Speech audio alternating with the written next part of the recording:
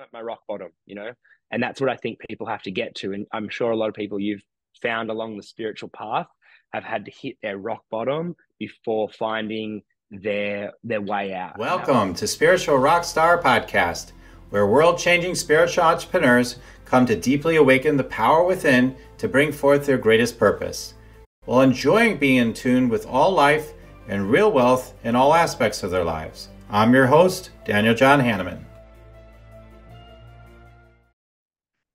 And welcome everybody to Spiritual Rockstar Podcast Show. I am so grateful that you are here. We've got really somebody that's really an amazing, amazing being, and also somebody who is really wanting to make a big effect in the world. I mean, we're talking about somebody who wants to change the world through meditation, and he is like documenting this stuff through film, etc. And I'm just thrilled to have him on today and learn all about it. We we can. It's been documented again and again. You can make big effects when people mass meditate, individually meditate, but when we mass meditate together with intention, all these different things. I don't know what he's even going to say yet, but I it works, guys. It's been shown to work. That's why I've always been a big believer and practicer of meditation, is because it makes a big difference. I know, like some of the things I've gone to, which I'll talk about later man, did I feel connected? I'm like, well, if everybody just spent this much time together meditating every day, what kind of world will we have? Those kind of questions. We're going to get into all that awesome sauce today with Barron. Barron, is I'm so grateful to have you today. Good morning. What an intro. Appreciate it. That's sure thing. all right. So let's talk about Baron some more here. Uh, now, uh, uh, he is a Vedic meditation initiator. Okay, that's what's cool. We're going to talk about Vedic meditation today. He brings people together to design transformative experiences and teach the profound practice of meditation. Barron is also deeply committed to making the world a better place through his work in various fields. He co founded Convicts, uh, New York City, NYC, a creative uh, studio with the mission of troublemakers for a better world. What? Oh yeah, like they said, Jesus is a troublemaker too, right? He also advises startup companies, mentors uh, individuals and businesses, and is an authorized celebrant. In addition to his entrepreneurial endeavors, Barron is currently working on a film about his hometown, conducting research on the collective effects of meditation. His passion for storytelling, creating films that matter, reflects his desire to promote a positive voice in culture. He is also founder of Be Here Now Nowra, right? Is that right? Okay. I think I got that right. A community happiness project dedicated to fostering connection and well-being. A frequent speaker on podcasts and ad events. Barron recently started his own podcast to share his insights and experiences. His journey as a keen runner also completing four ultra marathons and the New York Marathon. I want to talk about going deep, right? Demonstrating the same dedication and mental fortitude he brings to his work today. Um, he's had several years of living in New York, originally from Australia. He lives on the South Coast where he continues to express his love for music as a DJ, blending the disco, the funk, and the house and in soaked sun soaked it is, and it's soaked. sun soaked. He's driven by his desire uh, for individual expression of love. He brings people together in all kinds of meaningful ways. He's open to all kinds of new collabs and looks forward to working and playing with others who share his vision. He's all about that. Some more, imagine. So, Barron, yeah, again, so grateful to have you on. I didn't realize there was a there was a tongue twister in that bio, the sun soaked sets. I'm sorry about that. yeah, I just kind of glossed over the sun part. Okay, all right, yeah, sun soaked, sun soaked sets. Like the three, right? The sun, say that really fast, right? Um, yeah, those always get me. Uh, they tend to get me if I try to say them fast, especially. So I'm so grateful you're here. I um, you know, uh, I don't know how old you are, but you're relatively younger versus the average like spiritual teacher and all that stuff. Although today it's probably ch- starting to change, but uh, there's more and more spiritual teachers, younger and younger now. But I say that because it's an inspiration, you know, to me. I always would find myself in churches, you know, metaphysical churches, and Like everybody was like 20, 30 years older than me. like, like, so I know that kind of kind of feeling, but it's always kind of cool to be um a little on the younger side. But um, but yeah, I mean, my the other thing is just it's impressive that you're actually following your purpose, you're calling and doing these things. Because um, I, quite frankly, like I mean, right or wrong, like there's been certain callings that I had I didn't follow through on. I always now I always wonder. I wonder if I had done that, what what that would have been like, you know? And um, but you're just going for it. So I really, you know, that's that's really uh epic spiritual rock star stuff, you know, that you're actually taking on this mass movement sort of uh, uh stuff rather than, you know, you could just, oh, I'm a simple meditation teacher, but you're actually, you know, really going for a big effect. So congrats to you. Oh, thank you, Daniel. Well, you know, they say the best time to plant a tree was 20 years ago. The second best time to plant a tree is is today. And and right, right. I think that, you know, even even something like you having this podcast, the ripple effect of that, right? You know, if one person hears this podcast today and then they go out and perform some action and movement and and that's all my life has been. It's just been a series of action. You know, when I have the thought, I do it and um, and that has probably been the difference and why I was able to get all this stuff done quite young. And maybe I can retire in like five years then. right. That'd be good, right? That'd be fun. Yeah, I mean that is so interesting because everybody has their own way of operating, and I think there's potentially wisdom in many different ways, right? Of doing things like I get ideas all the time but I, I, I don't believe I'm meant to do all my ideas, right? And it probably it's true for you too. But I'm just saying, like, there's some ideas I, I'm like, oh, I could do that. And I'm like, yeah, I don't know about that one though. But there are been been a couple of persistent ones that I never took action on. That maybe you're right. Hey, maybe now's the time to do it. Then you still got the chance if you're truly that's truly truly your thing to do. Then go for it still. And there's other people listening wondering about that too. Yeah, yeah, me too. I've got something I haven't done yet as well. So that's that's that's interesting because the more you think about doing something, the more likely you won't do it because you're like, well, I don't know, I'm still thinking about it, right? So that's great if you if you haven't experienced too much of that in your life, you've always been one to go more towards action. That's a really great lesson to teach people. Like if comes natural to you and it doesn't come natural to other people, that's a great thing to be teaching people as well, on top of all those stuff we're going to get into today. Well, I mean, I'm looking at your podcast list and I asked you to send me your two favorites, but you've done over 400 podcasts. so you're also a man of action. You're also a man of action. So yes, yes, I am. Yes, I am. I just keep thinking of one or two of my big visions that I hadn't, uh, hadn't jumped into. And I, yeah, no, is that your bit? You know, but yes, we have been rocking it for sure. So, um, so, so let's talk about uh, um, meditation and the work you're up to. Uh, so what brought you into uh, you know becoming a meditation teacher? What was tell us a little bit about your path into it? Yeah, really good question. I guess for me, I uh, when I was young, I grew up in a small town, so small regional town in Australia, not too dissimilar to small American towns. You know, twenty five thousand people. Um, and the thing about small towns is that um, whenever when you're growing up there, you, you feel like you just want to leave. You know, there's no there's like not much opportunity. And so as soon as I could, I left town, got out of town. I was like, I'm never living back in Nowra again. And you pronounced it perfectly, by the way. I'm never living in Nowra again. I'm I'm out of here. And and I you know went off, traveled. I went to university. I lived in Sydney for a little bit, but I found myself living in New York City. So 24 year old, moved to New York City. I had a little bit of money from uh, some work that I'd saved, but I had no plans and I didn't know anyone other than my, my girlfriend who we moved together.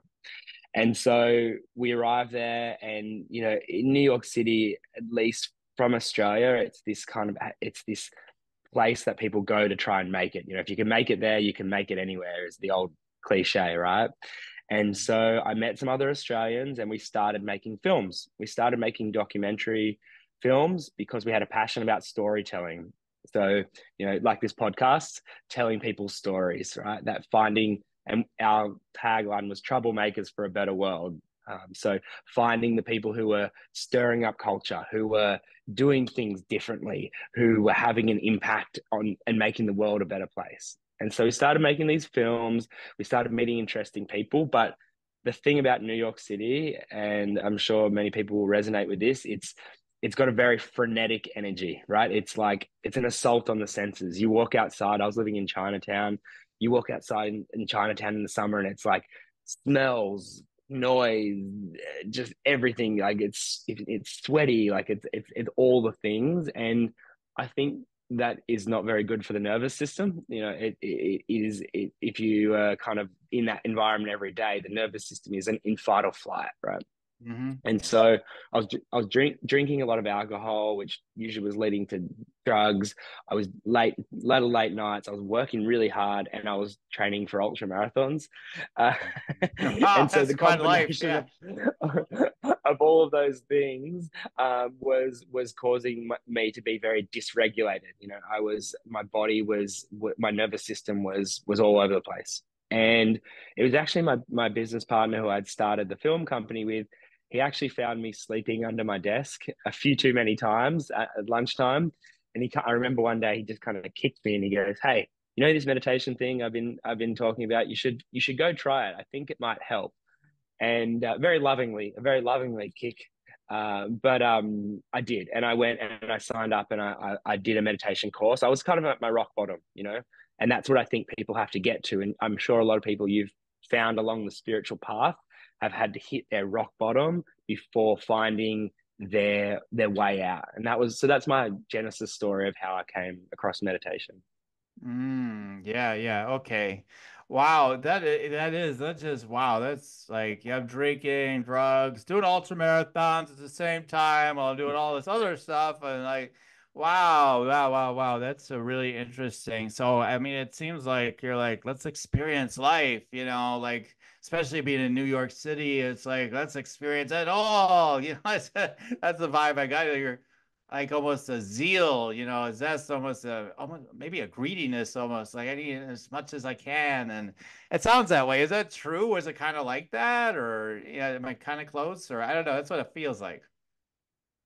Yes, you're spot on. And it was, I think, you know, in your 20s, that is you you just want to experience it all. You want to kind of like you want to do the research you know where if if if our life is a science project it's like i was doing lots of research mm-hmm. and i was finding out what worked and what didn't work. And i think that's just part of maturing right? Is like right. you you try try all the things you make all the mistakes. And i guess for me i wasn't afraid to make mistakes. I was just trying it mm-hmm. all. And and there's a lot of things i regret and there's a lot of like things that I don't remember, and there's a lot of you know things that um, I wish I didn't do. But you have to look back and and think of those as positives, right? Because they've got you to where you are today. Uh, and so for me, it was like making the mistakes was opportunities to learn, and um, I did a lot of research. Do you want to meditate and make money, let it be simple. Let it be easy. Let it be fun go to yoursacredpurpose.com and get your free meditate, make money meditation today. Yes, yes, yes, yes, yes. Yeah, it's absolutely true. I mean, uh, and it's funny because like uh, I I didn't do all those sorts of things, but you know the things I always talk about uh, being younger and you know it wasn't that many times really, but like I did certain certain things. Uh, well, maybe it was more times than I want to admit, but different mischievous things, you know, vandalism or whatever it was, different things, and just thinking back on those times, like if I'm being really objective about it, like in terms of like how I experienced it at the time, most of those things I actually enjoyed at the time.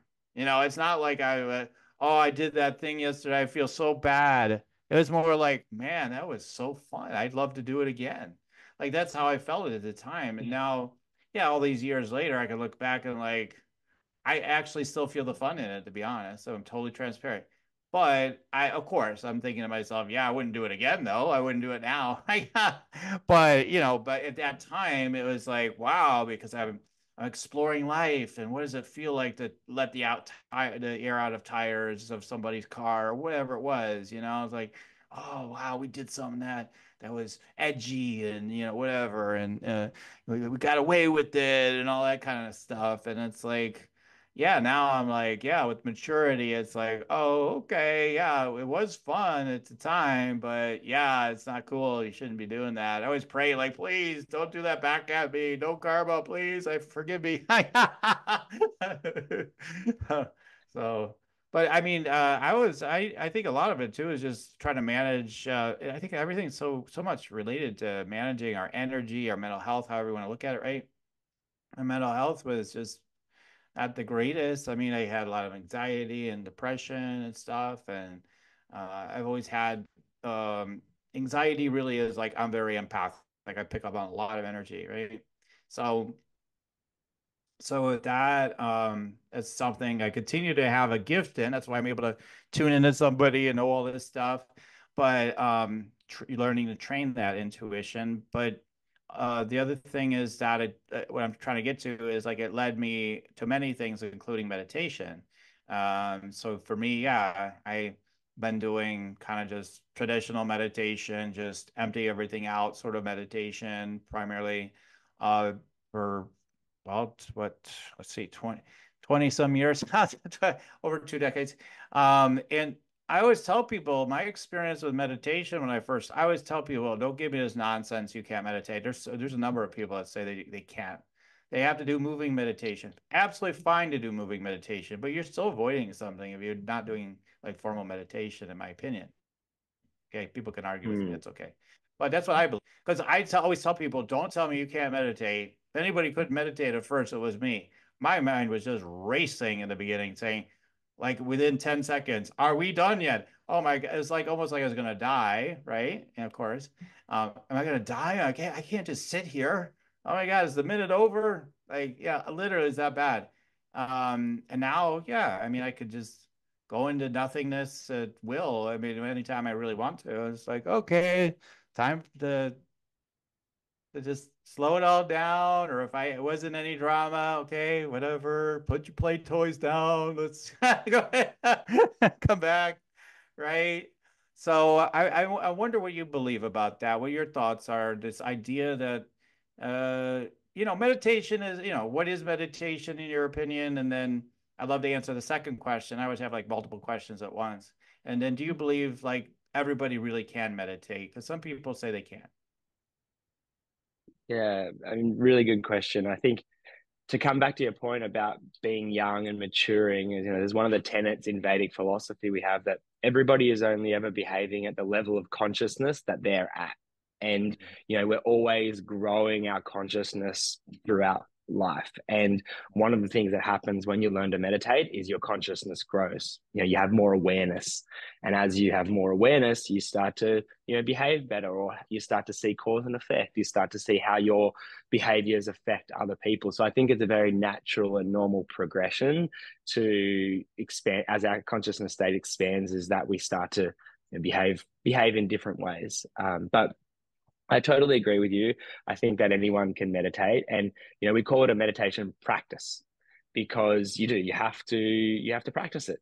And it's like riding a bike, you know, no child comes out of the womb and can just ride a bike. First they learn to balance and then they learn to walk and then they learn to you know to ride bike with training wheels.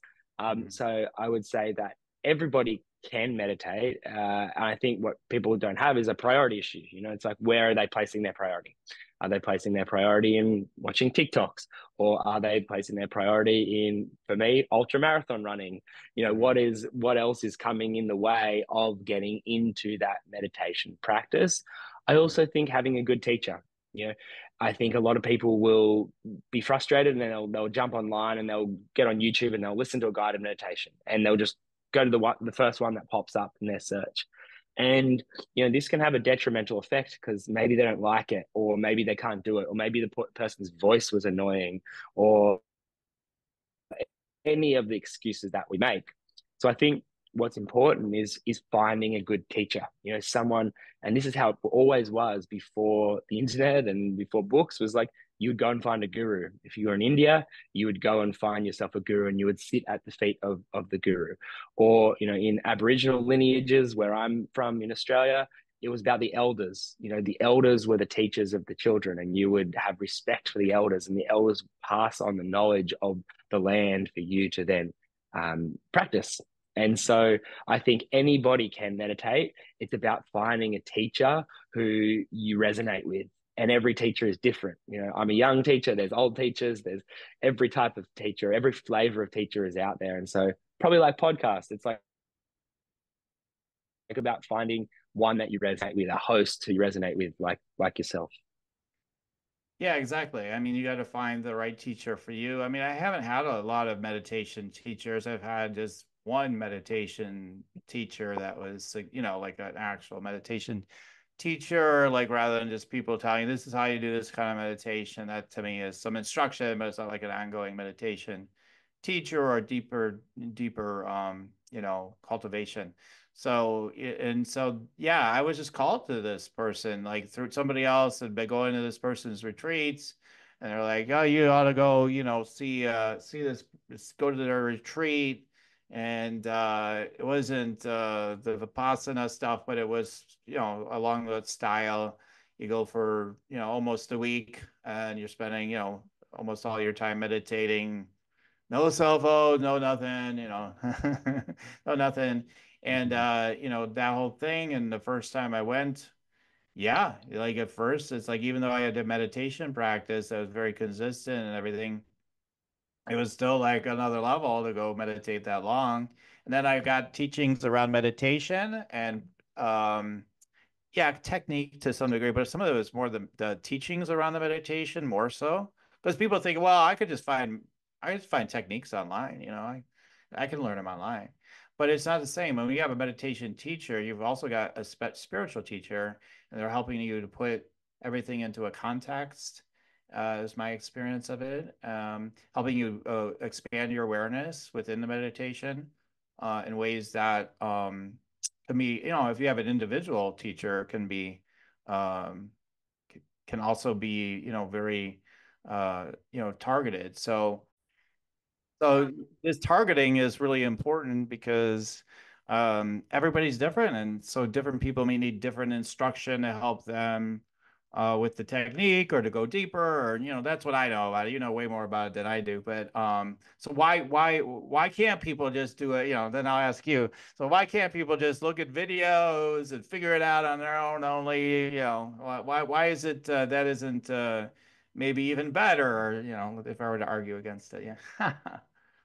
Yeah, yeah. Well, first and foremost, uh, I think there's something really important about an in-person experience. Um, you know, we're obviously recording this on Zoom because we're in different countries, and yeah. the internet has made things very accessible for many people. But I think, you know, what a lot of people are missing is that molecule to molecule transference. It's actually getting into a room with a teacher who is in a different state of consciousness and has something to share with you and impart on you. And this is how it's always been, you know, from thousands and thousands of years. It's only very recently that we've been learning through things through digital means. And so I think first and foremost, it's the in-person molecule to molecule experience has an effect on your physiology.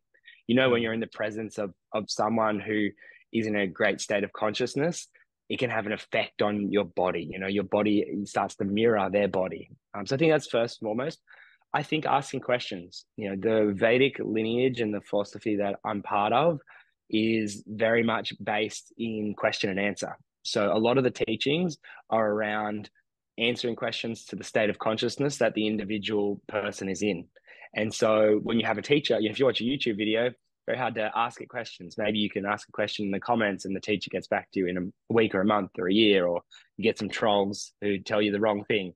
Um, you know, whereas when you're in the presence of a teacher, you can ask and you have that back and forth and you have that growth together, right? Mm-hmm. And I think too, you know, uh, for me, um, I've had a lot of success teaching in my hometown of just being and sitting with people, and I think a lot of it is actually that the that part of it is, you know, people don't get time where they just sit with someone and absorb a practice. And so, also the last thing I say is, I, for in at least the way that I teach, is I sit with people and I meditate with them. And so, you know, in that, you know, what happens is people are more likely to do it. They're more likely to sit through the 20 minutes.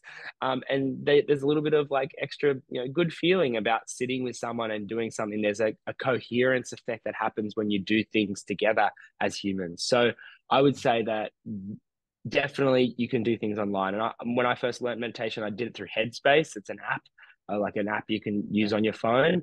Um, but where I made my progression was to go and and get myself a teacher and invest in the time of that teacher, which accelerated my growth and my evolution and led me to becoming a teacher myself.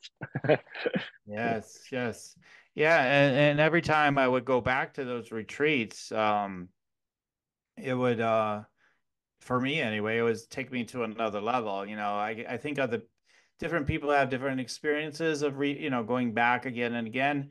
Uh, for me, I felt like each time I was able to go into a deeper space, um, deeper letting go, a deeper state of like, wow, this is different. You know, this is this is uh, really getting really uh, um, really silent. You know, like like this is getting really like joyful. Like bliss is just like I, I did. I had one of those samadhi so samadhis where it was like lasts for weeks or whatever and all that. Um, it didn't last forever, but it lasted for weeks. Or again, somebody could say you're a piece of crap or whatever, and I'd be like, "Oh, that's so cute of you to say that," like or whatever they would say. Like it would just like would not not it almost felt like nothing could faze me. I don't know if that was literally true, but that was the experience I was having, and um, that's you know that was from meditation and all the silence, you know, all that built up. And, um, but yeah, you have a unique uh, approach to meditation, the, the Vedic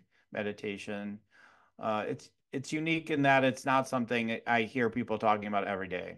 So, uh, so could you tell us what, you know, we talked a little bit about what is meditation. We're talking meditation so I'm super curious because I don't even know that I know what Vedic meditation is. So what's Vedic meditation?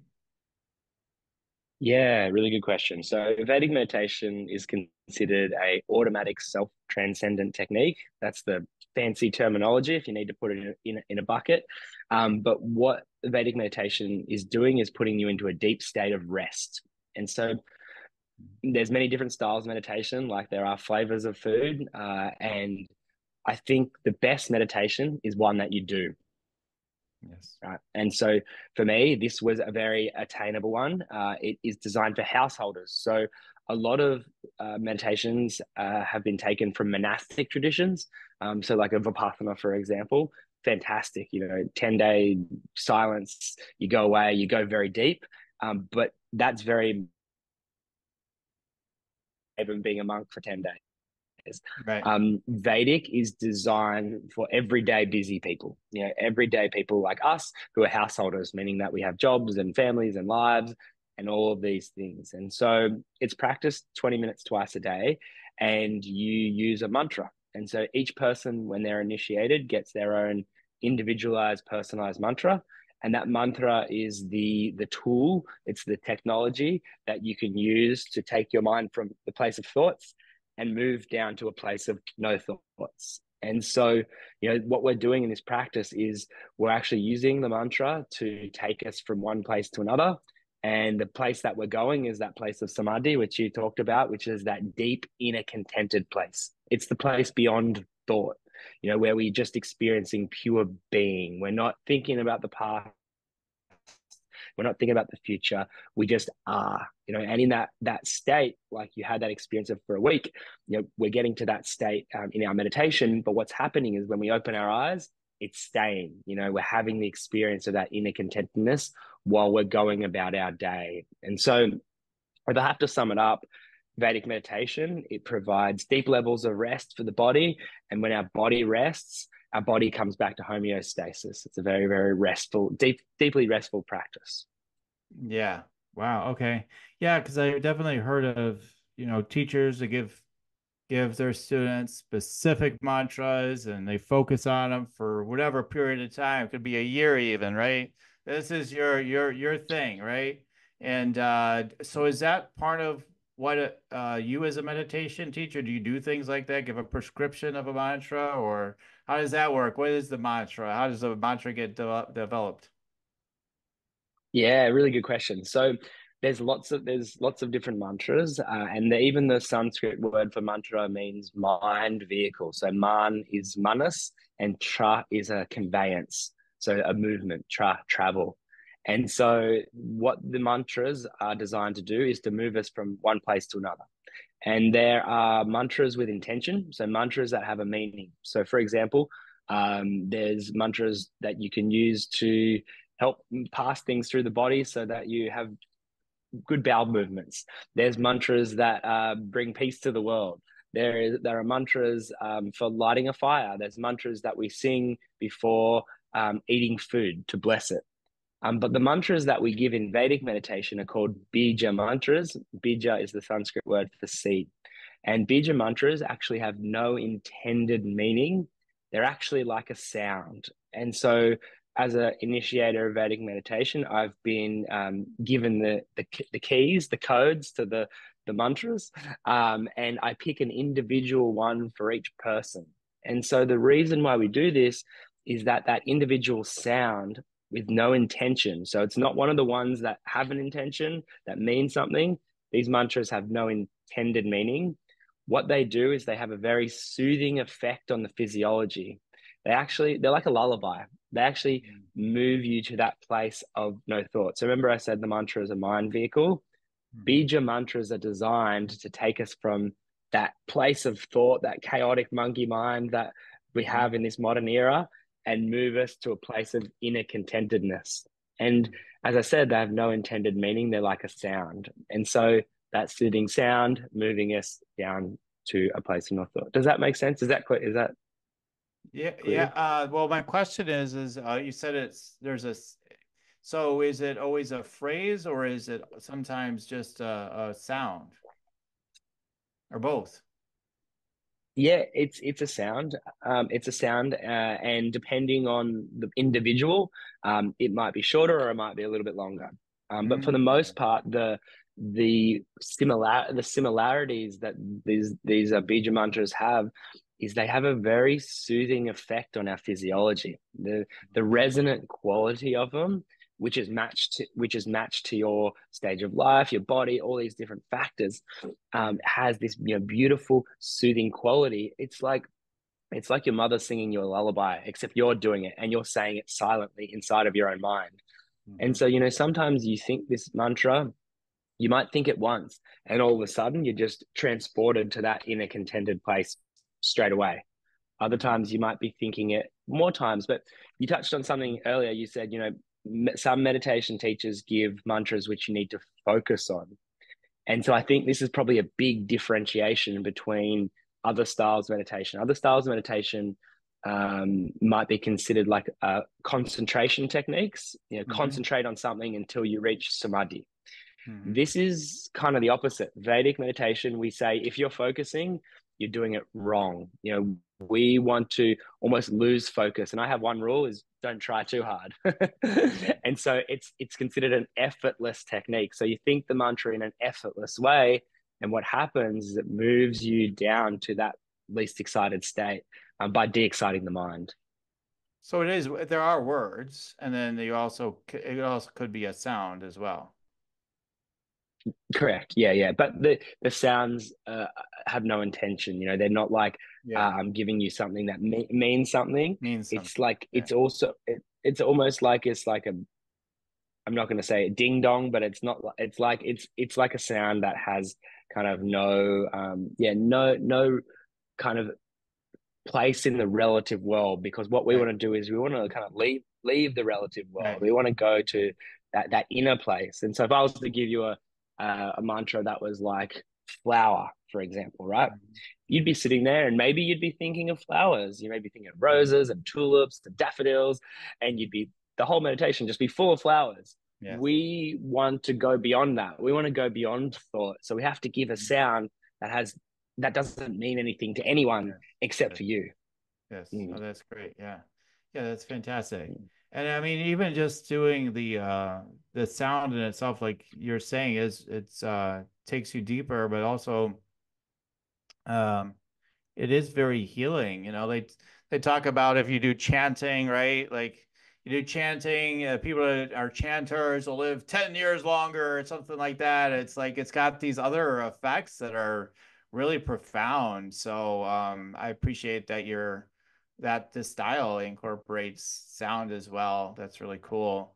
Um, all right, so so uh, so when people come to work with you, do they come in for like a number of days, a week, a month, a year? like how does that work? Yeah. Yeah, um, I think the mark of a good teacher is one who can make their students self-sufficient quickly. So, you know, I see a lot of teachers out there who are reliant on keeping their students coming back, right? Um, mm-hmm. Not going to throw yoga teachers under the bus, but yoga teachers have a great business model, you know, come back every week and do a yoga class with me. um, Vedic meditation works a little bit differently in that we have the goal and the aim of making our students self sufficient quickly, meaning that by the end of the time that they sit a course with me, my hope and my goal is that they can do this practice for life without ever having to see me again. Yeah. Um, but we we do offer support and follow up and and we uh, have in my hometown we have group meditations. So once you've learnt the practice you can come and be part of the community. So there's a there is a community aspect to it. Um, but we teach over four consecutive days and sessions are about 90 minutes each. So you come in you get your mantra and then you come back the next day you come back the next day you come back the next day after four days, you've had a little bit of time to practice at home, a little time to practice with me. And then after that, you're out on your own and you're in the wild and you're a, you're a full blown meditator. yeah. yep. Yep. Cool. That's cool. Uh, so, so you've been doing, uh, so part of what you've been up to with all this is you've got this, uh, documentary and you're, uh, how did how did you get to doing uh, the the filming of film per period, and then you're doing this be now nowra be here nowra. Um, and so tell us more about you know your filmmaking journey and uh, this one you're currently making uh, that's about you know transforming consciousness in this one town. But yeah, tell us all about it. yeah, thanks, Daniel. Um, so I, when I was in New York City, I was making documentary films, and we were trying to make about make about topics that mattered to us. You know, um, you know, climate change, um, LGBTQI rights, uh, Black Lives Matter, um, all these different topics that were, were resonating with us and relevant at the time. But I felt that every time we kind of made one of these films, it would just go to an echo chamber of people like us who all felt the same thing. And I didn't think that I was actually making so much of a difference. And in 2019, 2020, you might remember Australia had some really horrible bushfires. Mm, uh, yes. The mm-hmm. south coast of, of, of New South Wales, where I grew up and my family home is, which I'm currently sitting in, was under threat. And on January 4th, our house was meant to burn down. So I flew back from New York to help clean up the mess, basically, to, to because our house was meant to be destroyed when I was flying back that evening, the wind changed direction and it went in another, the fire went another way. Uh, 12 of our neighbors lost their house on that day, uh, but our house was spared. And in that time, I realized just how much stress was embedded in the town, but also the community and also the country at that point. You know, the everything was was felt very stressful, um, and so I thought, wow, this is a opportunity you know, becoming a meditation teacher. I was already doing the practice. I was doing the training to become a teacher. I was like we don't need any more meditation teachers in new york city or los angeles or sydney or melbourne. You know there's already lots of great communities and amazing teachers there. My town didn't have a single meditation teacher. So i thought wow what an opportunity. I could come back and bring what i've learned. You know i've gone away. I've learned this thing and I could share this with the people of Nowra as a way to help them to recover from that very traumatic period, which was the bushfires. Um, and so I came back and I'm a filmmaker. So I was making these films. I was like, wow, there's also an opportunity here to share this story. And, you know, it's great if we can change, make change within Nowra, but what if we can also share our story and inspire other towns to do the same and inspire other teachers to do the same. And so we've been working on the film for two and a half years. And the exciting thing is, is that we're coming to an end. We're moving towards the end of the film, which is, you know, it's been a labor of love to this point. And so in October, we'll be finishing the last kind of shots and then it, it will go into post production and we're going to be making a feature length film. But the exciting thing is, is that our town has actually changed the meditation practice has had an effect on individuals, but it's also having a ripple effect in the town. And that is what I'm really excited to share with people is that, you know, meditation, obviously, we know that it can affect the individual. You and I have had the experience of the effect of meditation, and we know that it works for us. But can it also create a collective effect so that it ripples out beyond just the people who practice and the town can change and improve? And so that's where I'm up to. And yeah, the project's called Be Here Nowra. If you are a fan of Ram Dass, he had a book called Be Here Now. So it's a pun on Be Here Now. Be Here Nowra. Nowra is the town. And it's been very inspiring to see people in a regional town, you know, a small town, embrace this practice, which comes from India, you know. It's 5,000 year old Indian tradition that now all of these people from Nowra who are very lovable, but very probably naive to the things out there are just embracing this this practice which is thousands of years old. Oh wow. Yeah that's so ph- phenomenal. I have seen clips of what you're doing. You've posted some stuff online and i just uh just i was like oh my god. It's just it's just like a beautiful vibe beautiful stuff. Um so yeah uh so so you've got a group of people there in the town and and uh, yeah, and as it gets more publicity, more and more people want to be a part of it in the town, and and it's like, what if we do this in other places? Because the other you know experiments that have been done with this, like experiments, it's wasn't put into a film. Uh, the ones that I know of, but you know, so this is brilliant that you're putting it on film, and you know, as a way of all right, you know, this isn't a one-time event, you know, this could be like, you know, all the time, right? So that's that's really cool. Um uh so how did you get in I'm curious before we move on from this topic, like how do you get inspired to do this specific project? I mean, like how did it come to you? Was it a download or or how did it come together? Yeah, really good question. So when I was doing my teacher training um, to become a meditation teacher, and so Vedic meditation has quite an involved process. It's about a 3,000 hour teacher training course.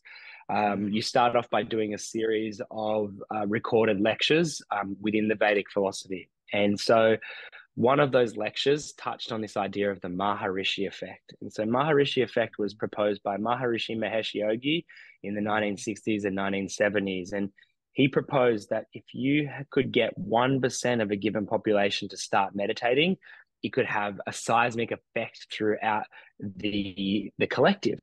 And so his ideas were based in collective consciousness, um, you know, the laws of nature. We see this 1% effect in, in other different areas in nature, but also, you know, quantum physics, you know, that everything is a field and everything is actually connected and all is, is one. Mm-hmm. And I was fascinated by the science of this. And there's actually about 55 published studies about the Maharishi effect. This idea that when the you reach that tipping point of people who are de-exciting their nervous system, that it has this kind of like enhanced effect that goes throughout the whole the whole region. And so I read about this, and then uh, I was as a filmmaker, I was like, oh, I want to see the film about it. Surely somebody's made a film about this. I jumped online, couldn't find anything. There's no recorded footage of any of these kind of experiments because they were done in the 70s and 80s and yeah. and um and so I'll just touch on quickly the one that I was most inspired by was the it was called the Washington the Washington Peace Project. And it happened in 1984 they took uh, about four and a half thousand meditators went to Washington DC for a summer right? And all they did was meditate. They didn't go out and fight crime. They didn't go out and give out flowers. They just went and meditated. And during that summer, the violent crime rate in Washington D.C. dropped by twenty three percent. Mm-hmm. And so the chief of the chief of police came out after this experiment. He was, you know, he was p- part of part of it, and he said the only thing that could possibly cause this amount of reduction in crime is three foot of snow. You know, nothing they've ever done and done and done since has record has recorded that much shift and change in crime rates, right? right. And, and we still don't really understand the mechanics of how it's happening, but we know that we have an effect, you know, that what we do and how we choose to, you know, behave has an effect on the people around us. And experiment, you know, in all other towns of similar sizes, cities of different sizes, there was no change during the same period the meditators assembled, they practiced this meditation, and what happened is there was you know a shift in the collective. And so I'm trying to prove that on a much smaller scale. My hometown is only 25,000 people. So 1% would be 250 meditators. So I'm just trying to do it on a small scale. And if we can prove it on a small scale, maybe we can go for bigger, you know, the state or the country or whatever. But, um, you know, I'm trying to be an inspiration and hope that this film can inspire other teachers. It doesn't even have to be med- meditation, it can be yoga or stand up paddleboarding or anything that you do, like people you have on this podcast, anything that they do to create community. I want to show them that it's possible and it can have an effect on the people around them. Yeah. Wow. That's phenomenal. That's phenomenal. I mean, this is a seed of uh, huge possibility. Um, because I always I always thought about that. Well, we've had an experiment here or there, then why don't we have more of them? Why, you know, uh, so I always wondered about that, but I I never did, you know, can't say too much because I never did anything about it. But um, you see, you you grab that ball and run in with it, so that's cool. Um, I know that. Uh, uh, yeah, with this these this type of a uh, yeah, definitely. I know what it is in part. Like we're all connected and we could feel each other's energies, right? So if um you were going to come on today and I was really stressed out and everything, theoretically, if you weren't too centered yourself, you would feel that chaos. You'd be like, I don't know, I'm feeling a little more agitated today. I don't know why. It could be in part this connection you're having with me, just even the idea you're coming on the podcast your average stress level might be a little higher. You know, uh, if you're really centered, maybe not too much of an effect. But um, I know for a fact that happens. Like I get, I'm empathic, so people in my life, if they're getting stressed, and maybe I'm a little stressed, all of a sudden they're having something going on physically, mentally, or whatever. I also now experience it, and then I have to deconstruct it later. Like, all right, I know I was stressed, but I was having the exact same experience as this person was at the same time, almost like or a very similar time period. I know it's because of the connection, right? So, so when you individually meditate and you work to to clear all this energy, all this noise, essentially lack of coherence, then you get a protection. I want to say, um, but then when people are doing collectively, like it just enhances presence for everybody, right? That's how I see it anyway. So, um, any other thoughts about how you see all that? Yeah, absolutely. I think I think you hit the nail on the head. Is that our individual state of consciousness affects those around us. And we know this, you know, if someone comes home stressed in a family, you know, whether it be a child or a, someone comes home stressed from work, there's a palpable feeling in the household. Even the dog feels it, you know, the dog comes up and tries to cuddle the person who's stressed. And, and so it's like, if that's happening on an individual household level, why couldn't it also happen on a community level and on a nation level? You know, right. and, and I'm feeling that, you know, I'm feeling that I felt that around the bushfires. And I feel that when I was living in America, you know, the bubbling of the stress that's that's permeating through the collective and and how that is kind of being represented in our leadership and how that is being, you know, represented um, by the things that we choose to consume, you know, and and so um, I think that the biggest thing that the biggest challenge that we're facing right now collectively as a human race is stress in the physiology. You know it's it's stress that we're experiencing in the physiology and the number one way to remove stress from the physiology is through deep rest.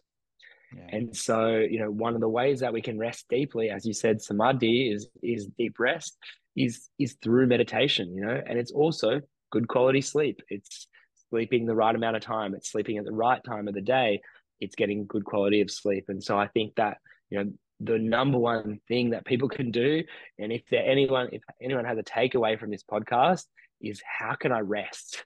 How can I rest better? And if I rest better, I'm more adaptable, I'm more resilient, I'm more creative, and I'm a better person. Hundred percent. I mean, people are resting by going through social media feeds and whatever. I mean, d- doing different things that uh, you know may give them the dopamine hit, as we say, right? But it may not really bring them any inner peace uh, at the same time. So uh, yeah, deconstructing like, well, I don't have time to meditate, but I can spend three hours on social media. So obviously something doesn't compute there, right? What if you spend even two of those hours meditating? Imagine how different their lives would be. What, what, what could be possible? It's, is amazing. So, um, so this is so important, uh, which you, the work that you're doing. Uh, how can people get involved? I mean, or, or reach out to you, etc. Yeah.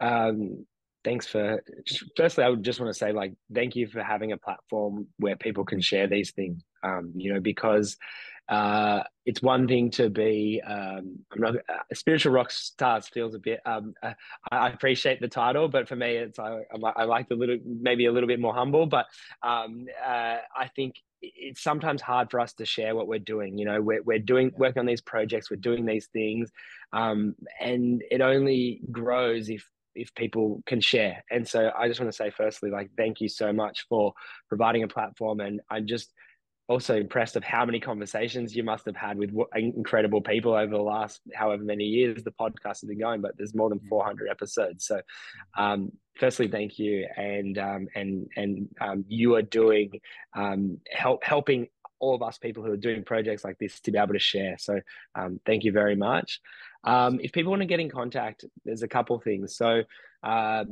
I, I teach in Nowra, my hometown on the south coast of New South Wales one of my first things was like, I want to invite people to come visit Nowra. Nowra has a bad reputation, and I want to change that. So if you're charmed, if you've never been to Australia before, come visit Nowra. We've got a whole thing going on down here. Uh, I do teach all over the world. So I do teach in Los Angeles, I teach in Sydney, I teach in Melbourne. Um, I often travel, and the best way to get in contact with me is through my website, barronhanson.com. Uh, if you're interested in the uh, Be Here Nowra project, which is evolving and it's going to become a film, you can follow us on Instagram or Facebook if you hang out in those places. Um, we also have a website. You can send me details and I can keep you in um, uh, when the film's going to come out. I can let you know when it's going to happen. Um, but um, I think also, too, Vedic meditation teachers are all over the world. Um, we're everywhere. Uh, if you search Vedic meditation in your hometown, it'll come up with generally the closest Vedic meditation teacher. We're all different styles and flavors of individual human expressions um, but we love teaching. It's our passion to share. And as I said, I think uh, finding a teacher and finding one who you resonate with is really important for your own spiritual growth. And so, um, if if there's been any part of this conversation which you've been interested in, and you're um, you've got the charm to find the local teacher in your area, just put into Google Vedic meditation wherever you're from, and it will bring up the the local teacher in your area and get on the phone, have a chat with them, meet them in person, go for a coffee, and um and and just just see if if Vedic meditation might be right for you. Oh, fantastic! Yeah, this is great. Uh, uh, yeah, that's what I love about this show is we able to bring like people like you on and be able to share these things. There's so much wisdom, so many projects, so many opportunities, and people need to know about it. So um, I'm grateful that you're you're here sharing about this today, and uh, definitely um, definitely I want to stay in touch and stay connected to what you're up to 100%. So let's all get on this trade, okay? This is all part of what wants to unfold right now. Absolutely. okay, so uh, I, I would love to uh, yeah spend some time now during our energy scan segment to give you a couple of downloads that I'm getting for you. Uh, and again, audience, it's for you as well. So listen in. There'll be something for you. Um, so so Barron, are you ready to receive? I can't wait. Thank you. I've been looking forward to this. Awesome. Okay, cool. All right, let's see what comes through today. Hold on.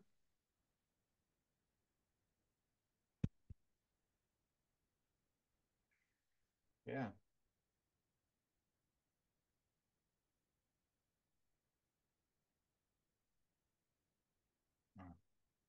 Yeah, so uh, a couple of things uh, stand out. Um, so, so one the one thing that I was getting right away when I was starting to to tune in is just you do have um, you know, just conversationally speaking, it's not as strongly evident. But when I tune in, like I really do get a very alert presence inside you.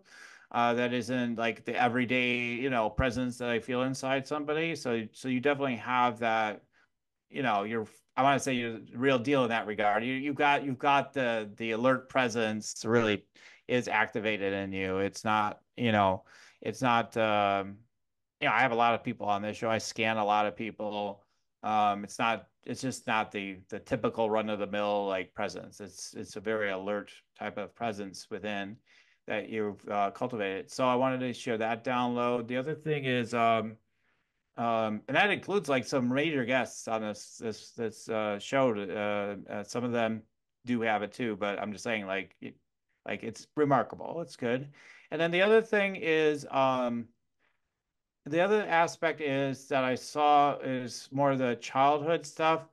Um, what I was shown is like more of that energy of like the insecurity, the searching, the um, restlessness, like I don't know, where's the opportunities? You know, where do how do I fit in? Oh, how oh, maybe I'm maybe I should sit back. Maybe I should be the star. Maybe I should lot like like like like talk about experimenting. Like I just got a sense like you're massively like trying to figure it all out and how, how do where where's my what am I supposed to be doing and should I be like this? Kind of be that chameleon too, and like just that's what was coming through. So I think like the strength of that, um, you know, now can be is you can relate to a lot of different people in different spaces because um, you kind of tried on a lot of different energy. Uh, so you can kind of really um, connect with where people are at. So that's a great gift. So yeah, I'll just leave it at that for today. But those are a couple of things that came through. So any quick reflections or thoughts about that? Yeah, thank you. I think like the first part about being awake or the the awareness um, is is a hallmark of of people who have um, you know practiced a lot of meditation. You know, it's this this idea that as you wake up inside, you have that inner awakening, you know, spiritual awakening they talk about, um, you just you start to have this kind of like wider perspective on things. And um, and I think the second part of of the the reading absolutely it's it's I've always had this kind of curiosity and passion for mm-hmm. um, doing all the things, doing all the research, doing all the all the asking all the questions, um, and I could see how on one on one side that is it can be um, you know you're flipping from one thing to the next it can be a detriment but also how you can connect with people on on different levels and different ways so the the chameleon thing is is interesting because I think sometimes chameleon could be um, taken as a negative, you know, person who's shifting and changing all the time. But I really like that you had a kind of a, a positive spin on it because it's like actually no, that gives you the ability to connect with people on their level in different ways at their state of consciousness. So um, yeah, thank you for those that that reflection and um, and yeah, it's it's it's really nice to um, for you to be able to share your your gifts as well. Um, it's um, it's a great blessing. So thank you. Oh, sure thing. Yeah, it's my pleasure to share that. I mean, I'm definitely one of those chameleons too, and uh, I, it's just yeah, because I pick up on so much energy. I'm like I always say, like I feel like it could be could kind of be anybody. I'm not the greatest on the voice imitations, but um, when it hits, it hits really good. People are like, "Whoa!" it's pretty profound when it comes through, but it's not. It's not consistent. Uh, God, God made it that way for me. I think. Otherwise, I'd be tempted to do that as part of my gig in the world. But, um, but anyway, it's a fun thing. It's fun being being like that. So yeah, chameleons have their place, right? So okay.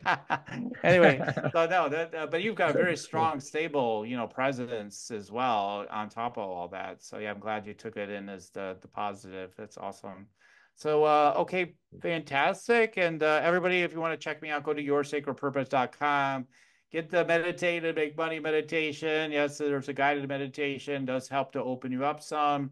Uh, definitely gives you some downloads, some attunement, and gets you connected with the energy of money and you know the downloads that maybe allow you not just ideas that does happen during that meditation but also the energy comes in. As like because a lot of it's just getting connected like yeah things are happening.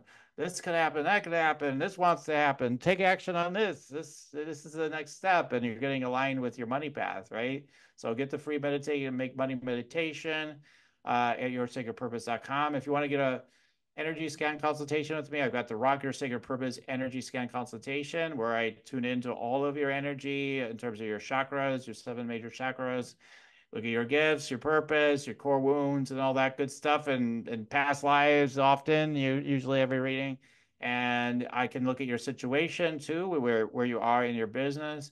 Um, and see where things want to go next, um, where the shifts want to take place, uh, and uh, I do, you know, one of the things is I do do intuitive business coaching on top of doing energy healing and all, you know, all these different things I do. So, um, so if you want to take advantage of that, you can find that on my website at yoursacredpurpose.com. All right. Uh, so this is fantastic being with you today, Barron. Uh, before we wrap up, do you have any last words for the audience today?